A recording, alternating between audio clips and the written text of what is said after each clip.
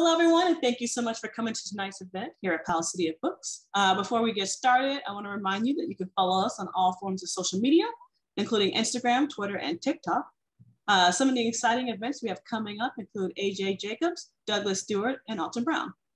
You can check out the rest of our enticing lineup by going to our website, powells.com.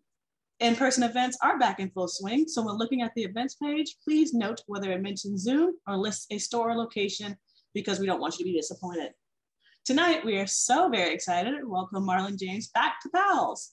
Uh, Marlon James is the author of the New York Times bestselling National Book Award finalist, uh, Black Leopard, Red Wolf, and the Booker Prize winning A Brief History of Seven Killings. He's also the author of the book Night of Night Women and John Crow's Devil. In addition to the Booker Prize, his novels have won the American Book Award, the Los Angeles Times Ray Bradbury Prize for Science Fiction, the Anisfield Wolf Book Award, and the Dayton Literary Peace Prize.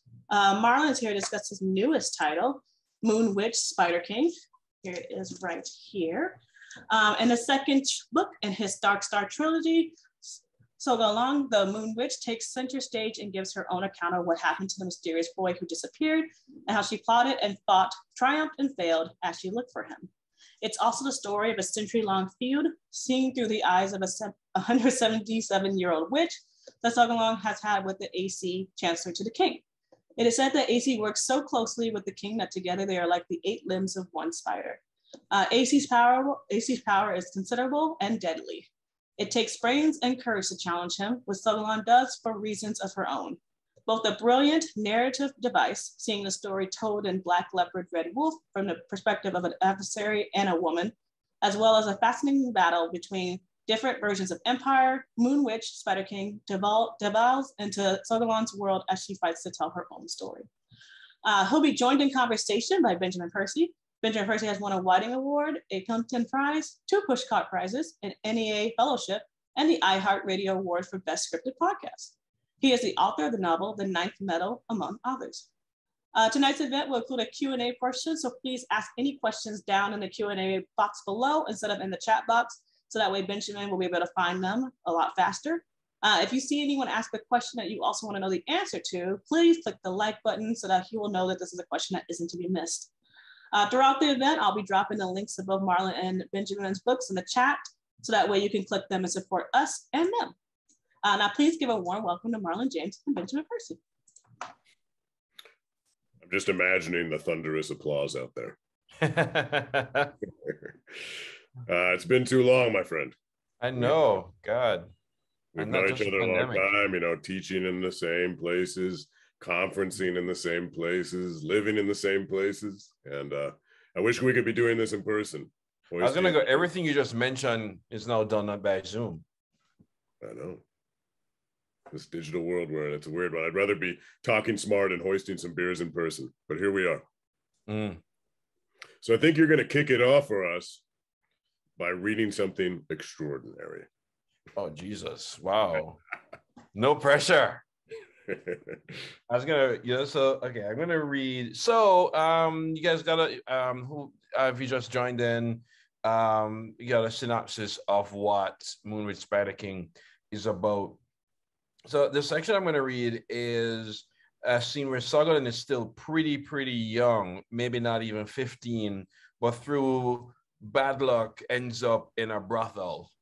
And um, what so Sogolon ends up a, as a brothel, but Sogolon manages to be the only person who nobody has slept with because she has a she she figures out how to escape that fate nearly every night until she stole something from person, a talisman. And the problem is the talisman with something she did set forth this demon that burst into the whole into this this brother hunting her down and um the the uh, the so this demon this demon called an Ukundunka bursts into the house of ill repute chasing down everybody tearing limb from limb and finally chases her, chases down Sogolon, who tried to escape. And this thing is standing right behind, right in front of her. And just when you think he's about to do something, this woman shows up behind him as if the woman is in charge of the monster. So it says, um, And this is written in her in a, her kind of dialect. Says he shriek and mash the chair. He, the thing, so high his head scraped the ceiling, one hand thin and weak looking, and the other thick as his body and touching the floor. Two legs tall as trees, but one shorter than the other. He shifted and scrambled like a spider, slamming down his big hand and smashing tables and urns and vases and throwing whatever he wrapped his long fingers around. Then he see the girl and shriek again. He goes straight for her. She climbed the ladder fast. She never climbed anything so fast and run to her room. The smashing, the shrieking, the screaming moving closer until the little door rip off. The beast still screeching. The girl is shaking so hard that each blink scatter tears. Better thank the gods you're not a boy thief, or I'd be calling 10 men to pull the Ukundunka out of your little shithole, the woman says. She, a lady looking like somebody of great nobility and importance, her dark lips and wide nose in a frown, her annoyed eyebrows sitting below a pattern of white dots that run down her left cheek, an igia on her head like a large black flower, and a long white basotho blanket around her shoulders with the black pattern of a warrior with spear and shield. A tall woman and wide, though she's not fat. She looked like she can hold all her children at once. Cheeks of a woman who laughed without warning, without joke. The little girl is trembling. The Ukundunka pawing at her sleeping sheets as if trying to pull her in. Where is it, little girl? The little girl can't get words out. The talisman, little fool, my little figure in onyx. Don't make me ask for it again, or I'll let him search you. The Ukundunka lower his head right in front of her, a head long like a horse, eyes like a wolf, teeth like a crocodile, breath like she don't know. They are one, you understand me? The Ukundunka and the talisman, they are one. Let me tell you a story. Once, long after, after we long married, I said to my husband, dearest husband, everybody know that you are an important man. Everybody know that it's important business that keep you out late at night. The gods know I worry. I worry so much, I ask a conjurer close in spirit to make something to keep my husband safe. Yes, husband, I say, you carry this talisman always, and Ukundunka will protect you an important man like you with enemies everywhere, why, you could be in a ditch. So every night, if I flip the hourglass more than five times and there's no sign of my husband, I send this Ukundunka searching for him. To keep him safe, you understand me? Lo, one night, he not only come home late, but he come home without it. Lost it, he say. He said, don't bother find it, for I don't know where it gone. I said, don't worry, husband. I'll soon find it and deal with who take it. Now look at it resting in the bosom of a whore. I'm not a whore. You're in a whorehouse. Odds not good you're a nun. I'm not a whore. You're not the cook. I'm not a whore. Then why this room smell of men? The little girl have no answer. She could have said that, yes, the room stunk of men, but none of that stink is on her. But the talk of sleeping poisons would lead to Miss Azura finding out. The noblewoman eyed her deep, inspecting her. I I never whore. I never whore with none of them. Never, eh? I robbed them.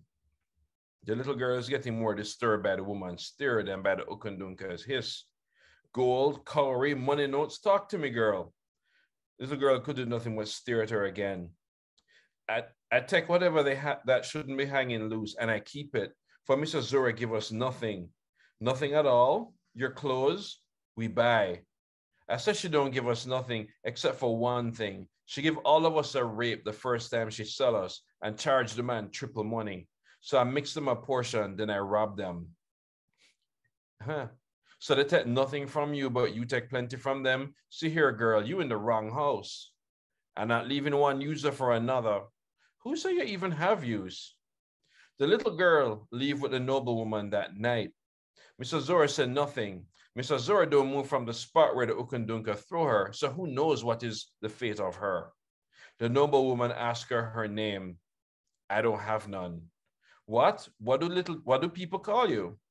Little one, little dung, little girl, little whore, forbidden lily. Enough. You choose a name, and that is what we will call you. I call my mother Sogolon. See the girl take her dead mother's name 170 and seven years ago. 170 and seven times that the great gourd of the world spin around the sun. Sogolon. Thank you. Oh yeah. That was great. I hear your virtual applause. thundering from afar. No, the thing I love about that scene is the way that it seesaws in so many different directions. Um, mm-hmm.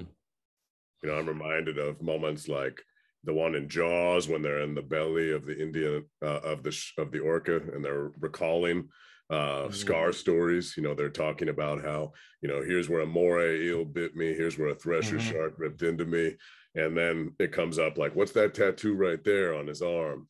You know, mm-hmm. as they're mm-hmm. giggling, as they're getting drunk, and he's like, "Oh, that's the USS Indianapolis, chief." And he launches into that story about the sinking of the Indianapolis after delivering the bomb the Hiroshima mm-hmm. bomb and how they were floating in the water for days on end, and the sharks came in and tore mm-hmm. them all apart. And in the same sort of way, like the scene you just read, it, you know, it goes instead of going from like funny to terrifying. Because mm-hmm. that scene in Jaws sort of reminds me of somebody giving you a tickle and then punching you in the stomach. Instead, in the scene that you just read, it, it's almost like we have this sudden onslaught, this interruption of mm-hmm. normalcy and and it's just like terror in your face but then it turns mm-hmm. into like uh, a sort of funny rapport between the two and yeah. then it turns again and becomes solemn and mm-hmm. meaningful and it's you know i feel like that's my experience in a microscopic way of the whole book mm-hmm. in that you know you never let your reader feel like they're on stable ground yeah, I mean, because I never feel as a writer that I'm on stable ground. I, you know, um, I kind of know what I'm gonna write and kind of know how my story. Well, this story is different in that I, I mean, all three novels you you know how it ends. You know how they end. Um, but by and large, I have I don't have a clue. Like people think, for example, the third book, I don't have a I don't have a flipping clue where it's gonna go.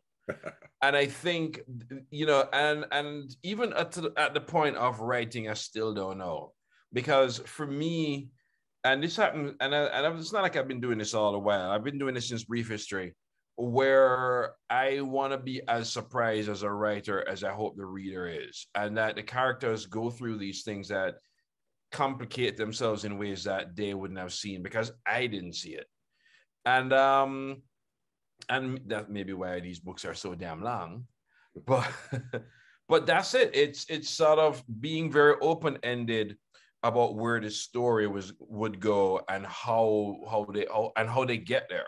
So it's not just that the the plot continually surprises me the way in which they react to it and the way in which a scene can swing from sad to funny to moving to ridiculous to you know to terrifying um, because I think you know, for me, even you know, the reader should feel that all bets are off.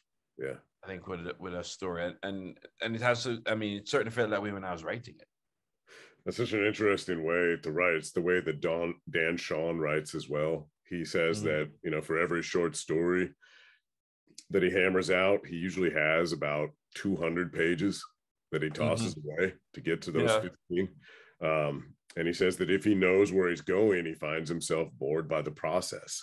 I am so bored. I remember the, the the what was supposed to be my third novel. I was going to write this novel on Weimar era Germany, and I knew everything about. I mean, I knew every. I knew pretty much everything about Weimar era Germany, um, and I remember just plotting it and plotting it and talking about it and just talking about it so much to so many people um, if it was if there was a conference, that's the book I talked about, right? That I'm writing next. And then I sat down to write this thing, and I literally sat down and my fingers at this on the keyboard, and I went, "Oh my god, I'm already bored." and I never wrote that novel. I hope so, you know somebody should. But I yeah, actually it's already written alone in Berlin. But but yeah, I was already bored. And I think that um I have no interest at all in a story where I already know where it's going to go. Uh, and that's the way that you know if you're if you're working for tv if you're working for comics right that's the way they push you over and over is mm. they want that blueprint up front so they can say you know exactly what yeah happened. but then they come with this bullshit that they also want it surprising i'm like pick one you know what's especially interesting about your process though is that you have these three books and i'm really interested in talking about the way you structured this series because you have these three mm-hmm. books and each novel stands alone mm-hmm. but also speaks to the other rubs up against the other mm-hmm. uh, and i think that's smart for a few reasons one i mean in a really mercenary way it's smart because you fight attrition right because in a mm-hmm. standard sort of series when one book follows the other you know fewer people pick up the second book fewer mm-hmm. people pick up the third book because they have to right. have been following all along but yeah. you fight that you fight that by having them stand apart stand alone uh, but it's also I think it's just a reinvention of the way we think about a series, right? Like it's a continuation, sure, but it's also a revision or it's also a mm. conversation yeah, right? it's but it's it's not a new thing. That's the thing. It's um not even in literary fiction. I mean, in a lot of ways, Alexandria Quartet is that. Um, Jane Gardam's Old Filth trilogy is is is kind of that. Um, well, by and large, we usually see that with different writers just going back to the same subject matter. So you have Huckleberry Finn, and you had this novel that came out maybe a decade ago called Finn, which I highly recommend um, which was another Huckleberry Finn told from the point of view of Huckleberry Finn's horrible father.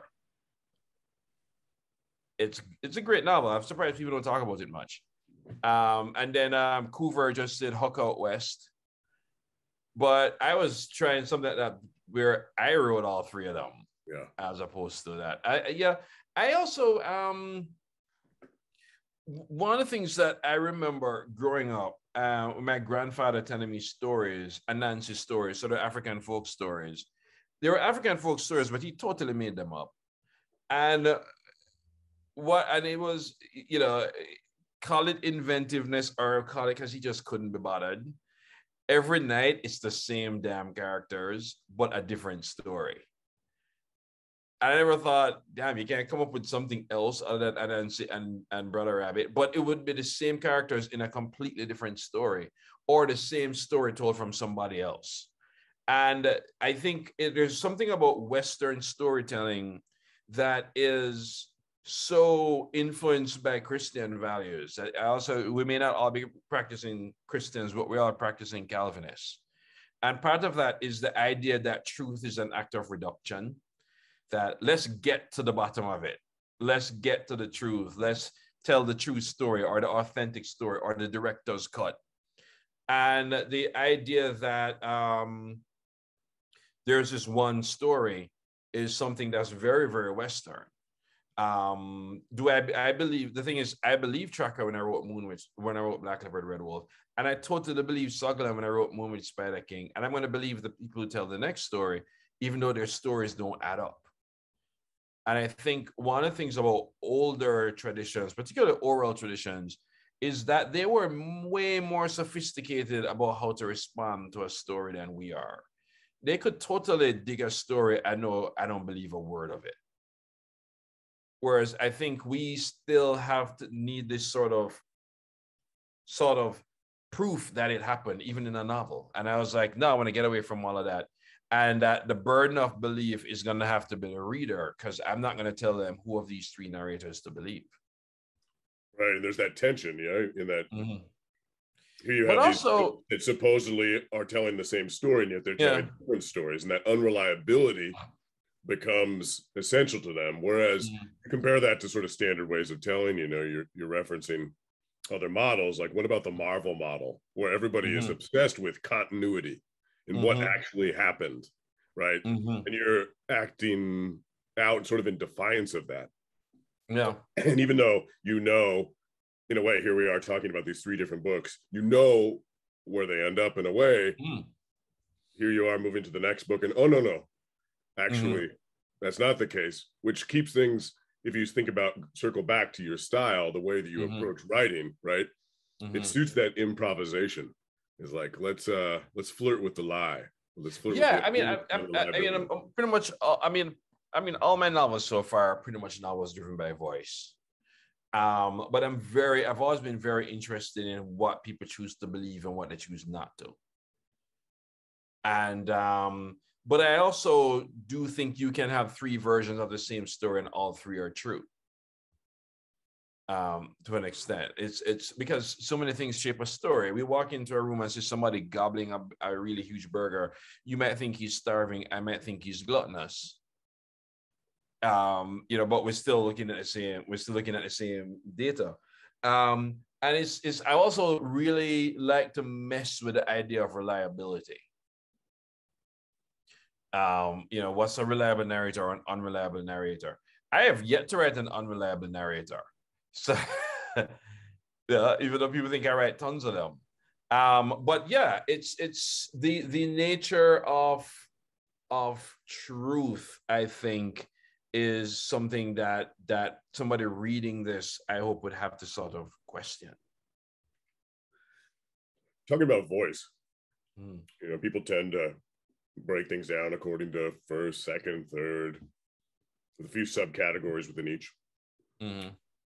but we've already been talking about defiance right a defiance mm-hmm. of norms when i read these books there's a unique quality to the perspective you know, it's like an omniscience that's an mm-hmm. implied first person. It's personality, it's judgment, it's a bossy narrator. That's how I think mm-hmm. of it, the bossy yeah. narrator. Um, and you were talking about that voice, it sounded like in tandem with like the traditions of the griot. Mm-hmm, mm-hmm. And I just love the idea of that, that mm. you say there's no such thing. You've never written an unreliable narrator. Mm-hmm. And that certainty comes across the certainty of like a god. Yeah. The personality well, yeah. of a sassy god. Mm-hmm. Sort of like your your narrator. I'm start calling her that now. She's a sassy god. well, I I think because it's not necessarily that these people are telling you the truth. Is that is that at the certain amount of traditions of of ancient storytelling. It's not just African storytelling. If you're reading Beowulf, you have to do the same thing. Where truth is what you decide to believe. I can tell you whatever. Yeah. And and tell it with the force as if it happened to me, whether it happened to me or not is almost beside the point. You know, it's like Life of Pi. Do you want the story with the tiger or the one without the tiger? Most of us rather the story with the tiger and then we figure it out.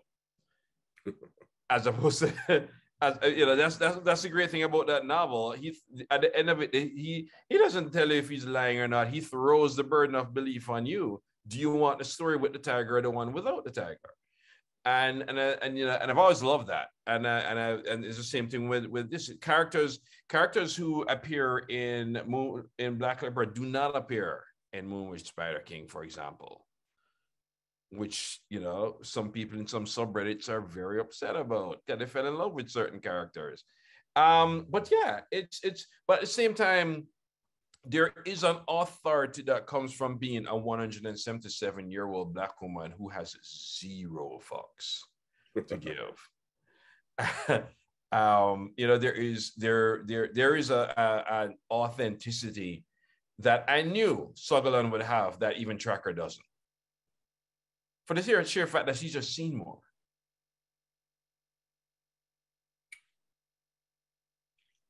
I'm thinking now about genre. Mm-hmm. You know, if you look at speculative fiction, oftentimes it's kind of a Trojan horse. Yeah. Else, right? Like mm-hmm. this is a horror story, but it's also this is a fantasy story. This is a sci-fi story, but it's also Mm-hmm. Right? Godzilla's a monster movie, but it's also about post-atomic anxieties. Or Get Out is a horror movie, but it's also social commentary. And it sounds like mm-hmm. you're hinting towards a little bit of that right now, where you know you're talking about this 177 year old black woman who gives no fucks. Mm-hmm. Curious to hear you talk about the also of this novel. Mm. Um, yeah. How's this a story about long ago and far away? but mm-hmm. it's also relevant to the right now. Yeah, I mean, I will say preface. Sometimes I I get very I know I I sometimes get suspicious when people drop the also. Sometimes because if sci-fi isn't enough. Right. You know, they, they, they, they, that's why I've always been always been suspicious of the word, the term speculative fiction. Right. You know, it's like it's sci-fi, but it's a little more. I'm like, no, bitch. a little more spicy. you know, it's it's like no. You know, um, this is why I always I just think about it as uh, people pointing to the subtextual. You know. Yeah, but it, it's sometimes it, it makes me wonder if they didn't read Ursula Le Guin hard enough. Yeah.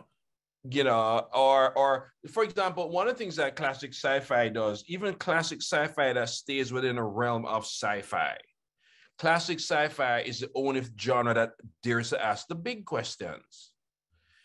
You know, their literary fiction authors aren't asking why are we here and who control us anymore. Mm-hmm. But sci-fi is still doing that. Fantasy does that.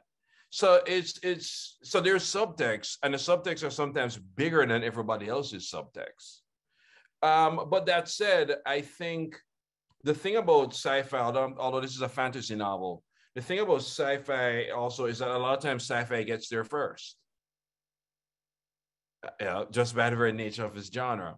Um, I think the thing about fantasy for me is that fantasy fantasy novels to me are historical novels.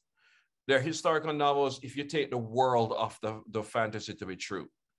Um, I just watched The Northman um, on Saturday, and God, you're gonna flip at it. I haven't seen it yet, but I, you're, my you're loins, my loins stir every time I see the trailer. But the cool thing about the Northman, I mean the Norseman, but that's a Freudian slip. The thing I loved about Northman is that it's the most Norse Viking story I've ever seen because my problem with a lot of stories, particularly Scandinavian stories, is that they still have that Christian worldview.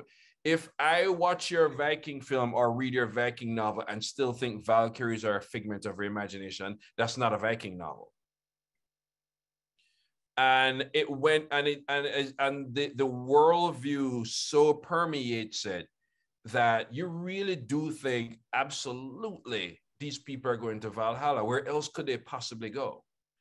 The so it's it's no longer fantasy it's the reality of the thing. And and when, even when i wrote moonway when i wrote these novels i wrote them with the belief that for the people of this world and i don't mean world of fantasy i mean world where people speak yoruba this is not fantasy.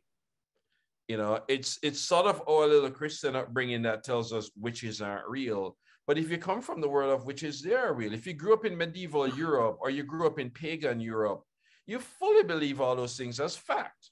Yeah. And I think that also is one of the, the, the, the crucial subtext to understanding finance or the way I write it is that I had to let go of the idea that this is fantastical and go, no, this is the real world that I'm writing about. I love that. I love that. That's but also, but it's, it's, did. But you also That's have to shift Eggers did as well with uh, the witch, right? The witch is was what? In Puritan New England, and witches yeah. are real because you're immersed in that point of view, right? But it, it's absolutely, so and I like, I love that he took it for granted because I think sometimes when we do these stories, um, fantasy, sci-fi, comics, we, we, you know, we, we, we, we still have to assert that the evil witch or the swan has no power. Mm-hmm. Like I get into clashes with Christians all the time about this because I said like witchcraft has no power. I'm like, you know, if you go back to Exodus, God didn't say those other wizards didn't have power. He just says Moses was greater. He didn't say that, he didn't say witchcraft ain't the shit. Those people still turn stuff. Those people still turn stick, you know, still turn sticks into slate into snakes. He never said witches don't have power. He just said he was greater than it. Yeah. And I, you know, and um, part of it of you know growing up in the Caribbean, you know, Gabriel Garcia Marquez talks about he never wrote a magical realist novel in his life.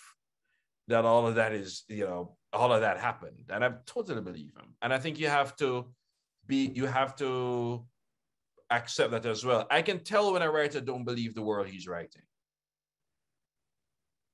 You know, I can tell. And uh, hell, I can tell when it happens in nonfiction. I can tell when, and you have to. I left these novels totally believing in the world that I wrote. I love that. I love that because it it makes me think of you know Brandon Sand- Sanderson who's kind of like the king nerd right now with his mm-hmm. thirty million dollar Kickstarter. um, I just did a thought with Brad. Oh, he's a sweetie. He's a sweetie. He's a sweetie. But, but I, I just we can't help but resent him for his thirty million dollars. But he yeah, talks a lot about money still. But he, I just did a talk with him. He talks a lot about magic systems, right? Mm-hmm. On his website, he has essays and essays and essays about magic systems mm-hmm. and how you need rules for your fantasy world, right? And mm-hmm. and so you can look at uh, Ursula K. Le Guin, who you're talking about before, mm-hmm. and naming is so essential to her. You yeah. name different things. If you look at them closer, if you study them deeply, and if you name mm-hmm. a thing, it will respond to you, and you can mm-hmm. you can command it. That's right. how Ged gains his power. It's very similar to what Patrick Rothfuss does with the name of the wind, right? Mm-hmm. The naming. Uh, N.K. Jemisin, you know, she gets into the geomancy, yeah, you know, sort of elemental powers in her Broken Earth trilogy. Mm-hmm. And they're like building a specific set of laws that serve as a guidebook for the world. But I love how you're, in a way, like just saying to hell with all that. And it's the mm-hmm. point of view that is the magic system. Yeah, but also that the magic system for these people aren't magic. Right. And I think, and I think it's it's or it's not, it's or rather, or rather, no, let's say put it a different way. It is magic, but magic has the same credence, reality, and religion have for us. Yeah. So it's it's not it's not a you know it's not something that's that's separable. It's um you know, uh, Black Leopard does, does this more where they where instead of magic they just call it black math. yeah, you know, and and or, or white science and so on. Um, that I yeah, I think um the, the there is also something very sort of sensual and carnal about the the the the, the magic and the, the creatures in this thing. And um and they're probably more in my but they're probably more creatures than magic. Um and more sort of supernatural beings than than um so on you know sure. than um spells and conjurers and so on. I mean the closest we come to a conjurer maybe is a, is Aesi but Aesi does have his rules. Um and you know it's it's it's part of it is you know Sogolon comes as as such a breaker of all those things. But I also think that a lot of those rules again follow a very Western idea of what can happen in a story. And um, I didn't, I certainly didn't want to write basically a Western fantasy novel in brown face. Right. Which would have been easy to do. Yeah. Well, um, if anything, it kind of laughs of it. May you know, my magic child who will deliver us is no magic child. He's kind of a freak. And I want to lean into that, like the idea that when we think about canonical works of of fantasy, it's oftentimes through the Western lens, right? The Arthurian mm-hmm. or the the the Tolkien journey. Um, mm-hmm. Um, and those stories oftentimes have to do with with virtue and mm-hmm. chivalry and uh, these traditional notions of of heroism mm-hmm. and and i'm curious about how you incorporated but upended those tropes and yeah. in particular when it when it comes to like moral ambiguity mm-hmm. a moralism because yeah well i mean even even a novel even even the, the his dark materials novels which in some ways set it set themselves against the religious Oxford Don novel. You know, whether it's whether it's C.S. Lewis or Tolkien, the fact that you're, it's like you know, there there are few there are few there are few concepts more Christian than the devil. You know that even in that risk, even in in the way in which that novel breaks against that not that tradition, it's still it's still in the context of the tradition. It's break it, it's in reaction to it which is not a diss at all, because I, I flipping love his dark materials. I realized that if I had written a novel that was in reaction to that, I'm still using that as the context. Mm-hmm. So it can't just be these are virtuous knights, I shall have evil knights, or these are dominated by this character, you know, or these have the knights and the evil ones are the orcs. Well, let's make the orcs good and such and such bad.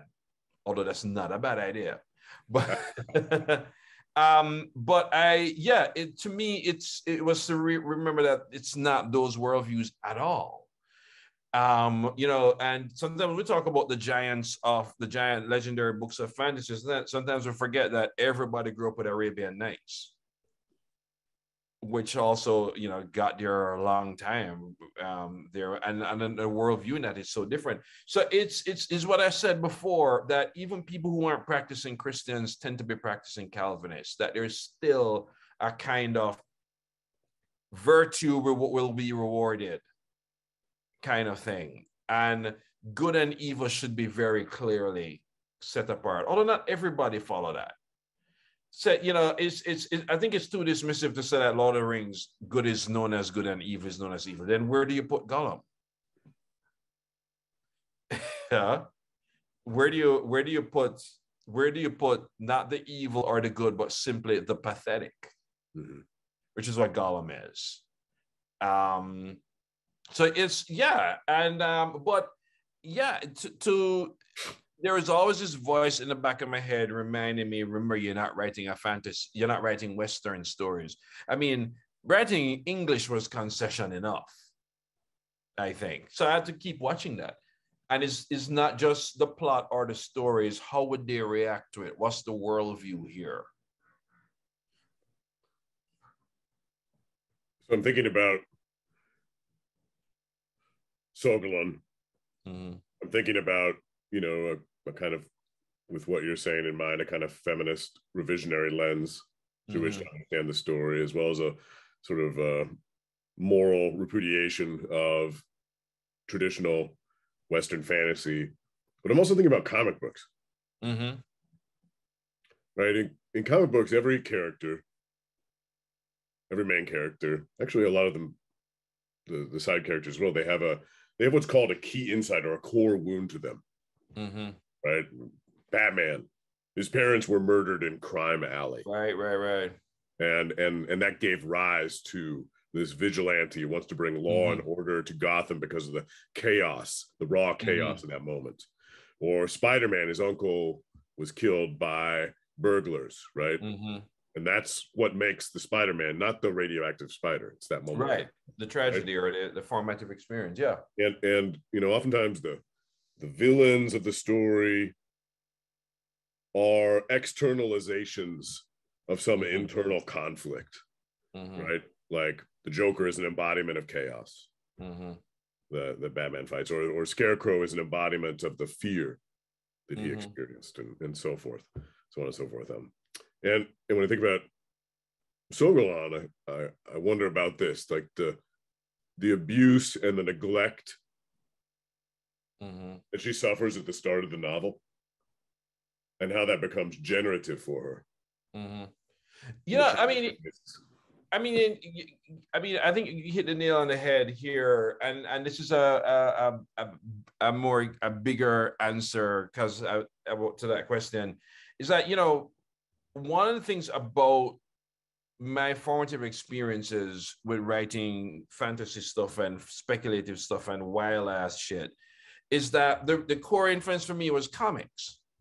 Like I didn't read Lord of the Rings until after the movies. You know, I'm still trying to get through Dune. um, you know, I mean, I've read, I've read, um, um, I read Wheel of Time, and I read Patrick stuff, um, and you know, Gene Wolfe is my god. But a lot of my for, the things that the things that shaped me were comics, particularly X Men, X Men, Teen Titans, and Batman. Um, I still have, I can still, you know, I can still tell you panel for panel the who the who is Donna Troy in in Teen Titans story. You know, I mean Judas contract. I mean, I'm pretty sure I cried at the end of it. and I mean, where do I begin talking about X Men? I didn't know you're such a Deathstroke fan yeah. Got conflicted feelings. But i mean and then of course x-men you know reading x-men in the 80s was a lot like being an x-men because i was a nerd and i've always tried to help the cool kids. I mean i used to do the cool kids homework for them and they just turn around and loudly reject me the next day and i'm like oh my god i am a mutant. I am i am serving the world. That hates me. I'm a total mutant. Where I'm going with this is that a lot of the way in which my characters are shaped still come from that that that that formative experience. And for and and for Sogolon, yes, it's childhood and so on. But I mean, Sogolon is also driven by sometimes the stuff done to her. You know, um, near the end of the book, she has this sort of kill list. Mm-hmm. Yeah, uh, so so she she is driven by that. Um, and then also the the character, you know, one of the things about about um Charles Xavier, I'm not calling him Xavier because that's not right. It's Xavier. One the, the thing about Xavier and Magneto is it's not just clashing people, it's also clashing a clashing version of uh, at the core of it irrefutable worldviews. If you if you take away all the violence and so on that have been done in their names, neither view is superior to the other. Not really. And and in in in Moonwitch, Sogolon and the Aesi are also clashing two worldviews. The Aesi has this idea that if we don't have a strong monarchy, which as it is, we won't be able to withstand what's coming.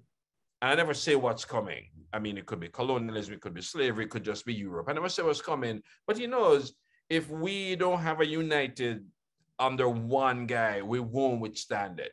Whereas Sogolon's worldview is if you start corrupt from the beginning, nothing good can ever come. So no matter how many kings you're going to bring on, if the beginning was terrible, it will always be terrible. And it's and it's but he, and it's it's is it Professor Xavier Magneto? Of course it is. you know but it's again those th- those things that shape the way it's still you know it's still shaped the way i tell way i tell a story you know i mean couple before in the middle of this pandemic when things were eased i finally met chris claremont i went to see the god himself you know i said poor chris he has all these authors coming around to gush over him every minute yeah. Also, poor Chris, he's got all these other writers playing with his toys right now. I know. Uh, uh, we, we, he's not, very, he's not very happy with me. He's not happy with a lot of the. Re- he's not. I'm not sure he's that happy with um with with Jonathan either. Yeah. It's it's we got into that, and I'll just say this. I said, well, you know, Chris, you know, for every Martin Luther King, there probably has to be a Malcolm X and maybe because you know it's it's there is something about about House of X, Powers of X that really struck me. Yeah. You know, what if, what if, you know, what if it's time to stop believing in the better nature of people? What if it's time to start realizing there's no justice, just us? And in a, and yes, I could bring all sorts of Black Lives Matter parallels and blah blah blah and and and I think I think I, I understand where Chris thinks it's a huge turn into a kind of cynicism.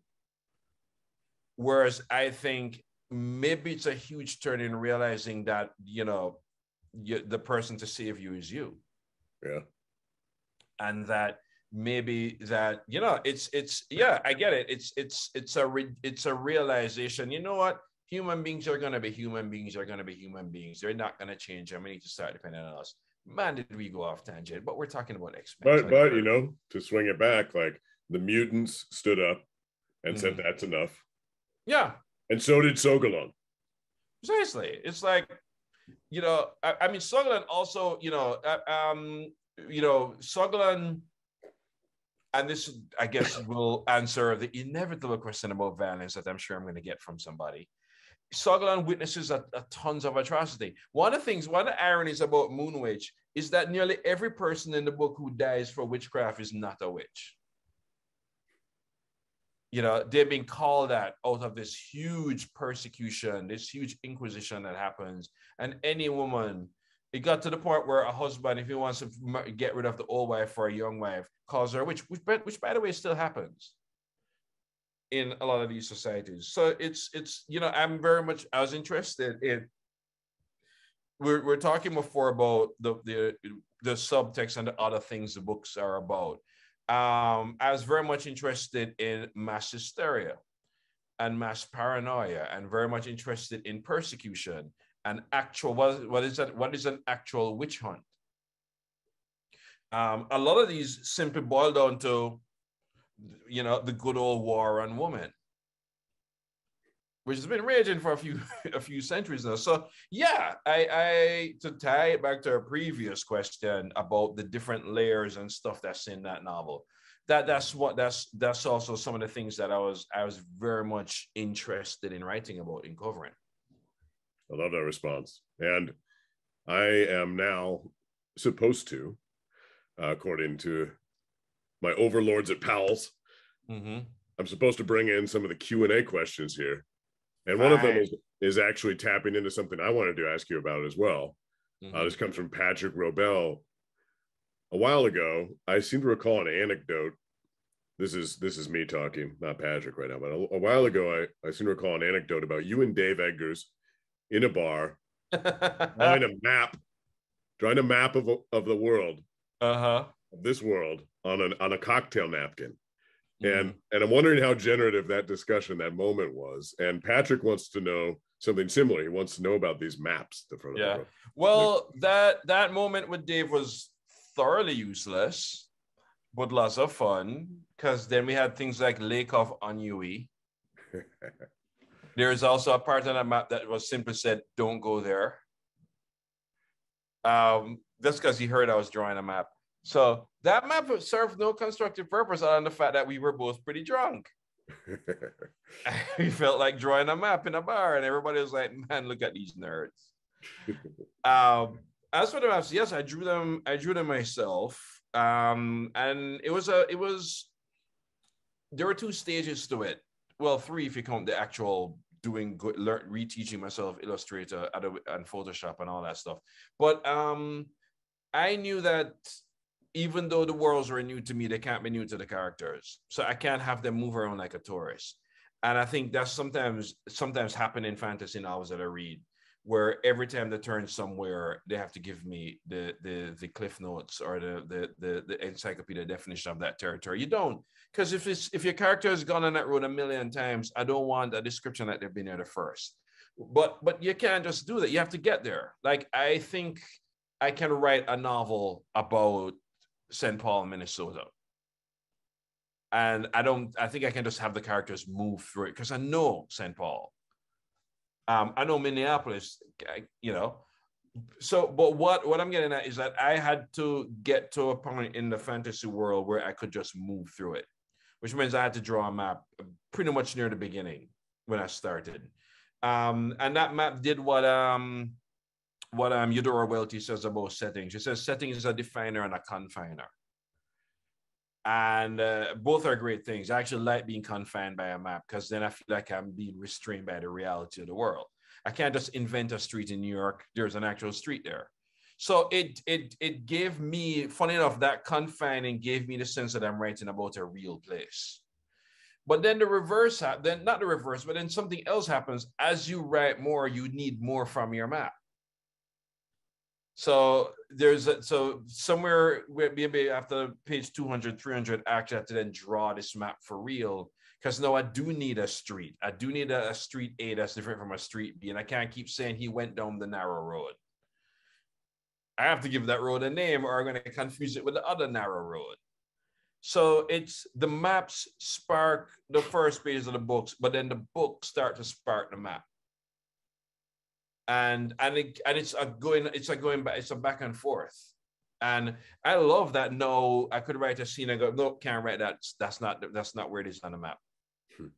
or we have to go south not north. And um and yeah so i end up drawing there so i end up drawing these maps again and again and again um until you know i'm finished the book and then i have to like draw them for real and then i have to go back and reteach myself all these illustration software, which I haven't had to do since I was a graphic designer.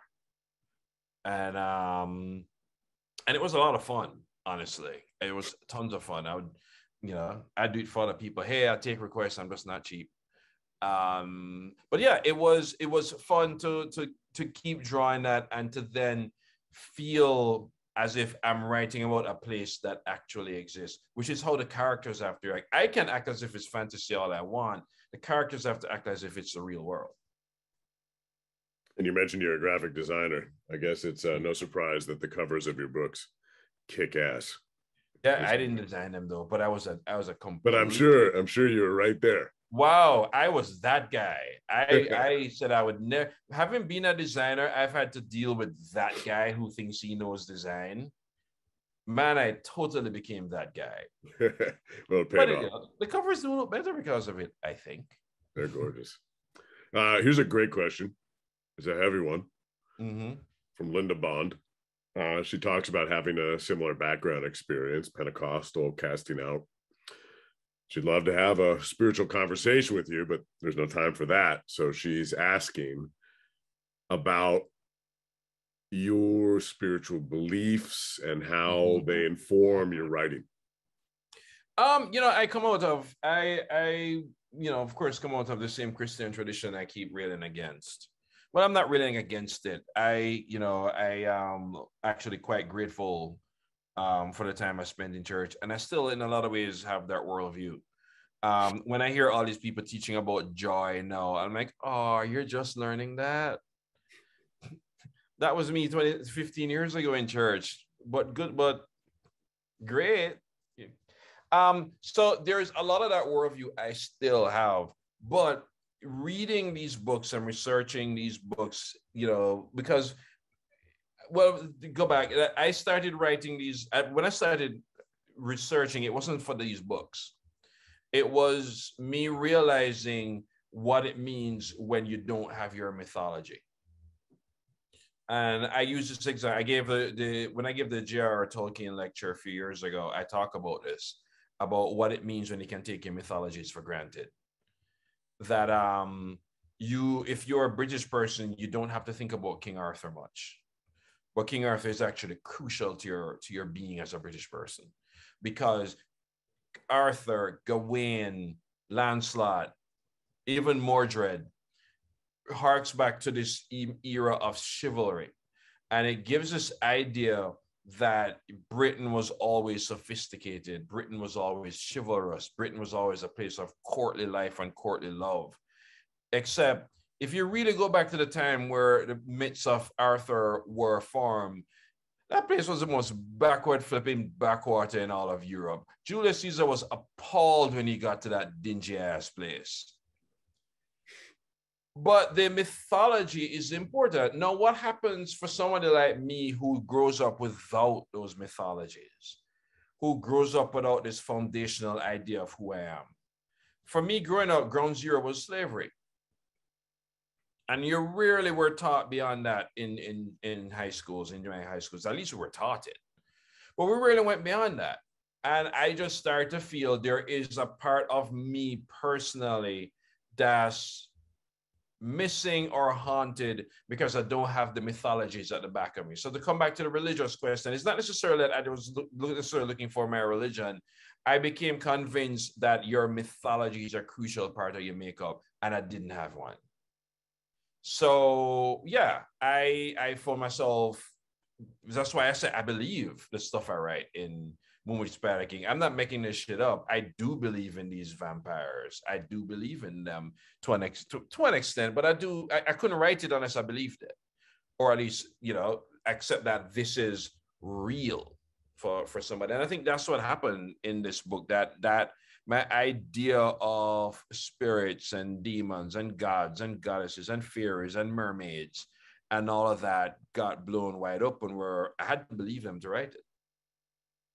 That's a killer response. There's, of course, uh, the inevitable question about the transition to film and to TV. Mm-hmm. Some of your books are experiencing right now. Can you talk about that? I don't know if you're allowed to talk about what's happening with these books. I know that, though, right now you are in Jamaica. I'm in Jamaica about to shoot a TV set. show. You're on set. The funny thing is, the TV show is funny because almost all my books, and, and every writer knows this, when you go through option and development hell, you know, everybody signs their books and then it takes 10 years for them to even happen. Funny enough, the one original screenplay I wrote, that's the one we're filming. I was like, damn, is, is this a statement on my books? So, so you know, so I'm in Jamaica filming. We're filming a detective show that I wrote. It's an original screenplay and I wrote this detective show to get rid of everybody because they kept harassing me to write a, a, treatment. And I'm like, you know what? I'm going to write something. I'm going to write a black Jamaican heroine in a story that's 99% Jamaicans and nobody will understand what the hell we're saying. Nobody will like it. And now here we are filming it. So that goes to show. Um, as for Black Leopard, of course, COVID put two years on everybody's timetable um it's still we're still moving ahead. We are you know we, we're working on a script. I'm not but we're working on a script and we're you know we're we want to move ahead with it. No before they were ahead of me no i'm ahead of them because i've finished moon witch.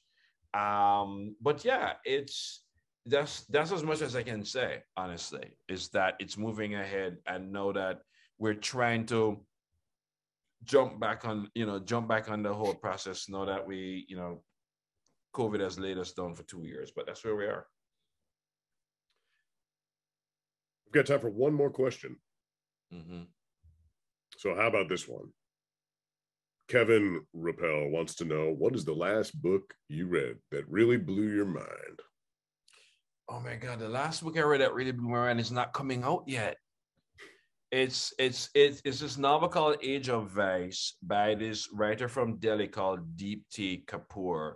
And if anybody has seen me on Facebook, they've seen me explaining about this book day after day. Yeah, yeah. I was wondering um, what that book was. Uh, I was wondering what that book was that you were being I, very curious about. It's it's wow. That book blew me apart. Um, funny enough, it, I think it's already out in it. It already came out in in India, I think, last year. But it was just yeah. I mean, I, I remember the part where I put up on Facebook where Oh, uh, actually, I didn't put it on Facebook. I was reading it, and um, I, you know, my partner Nick was there, and I said, "Oh, oh, it kind of, it finally flew off the rails."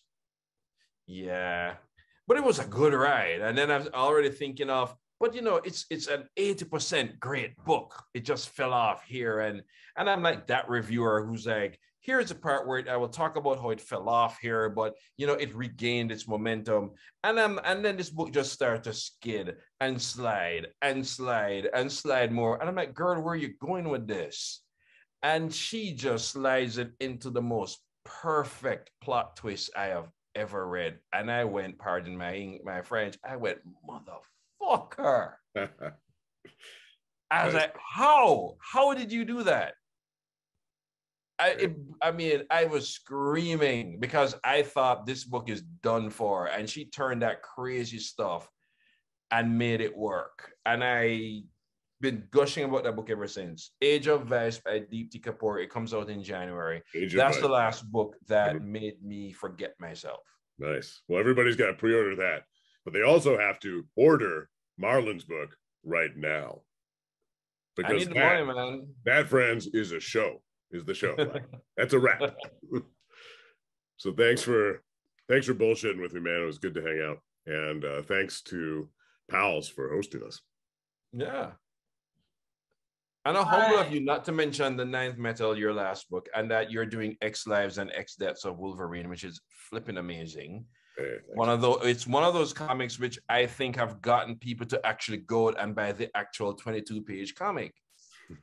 Trade paperbacks are nice, but people are actually going back to buying the actual comics, and I think that's fantastic. And you're a part of that.